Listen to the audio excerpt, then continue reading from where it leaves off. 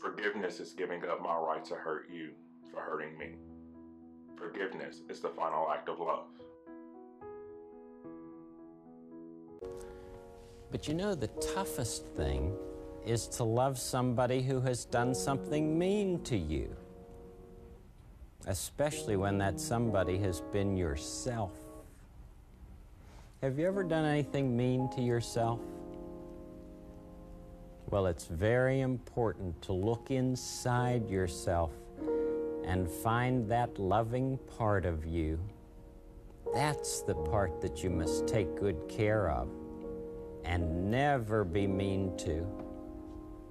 Because that's the part of you that allows you to love your neighbor.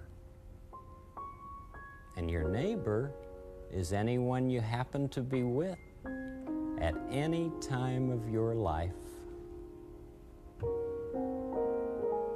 Respecting and loving your neighbor can give everybody a good feeling.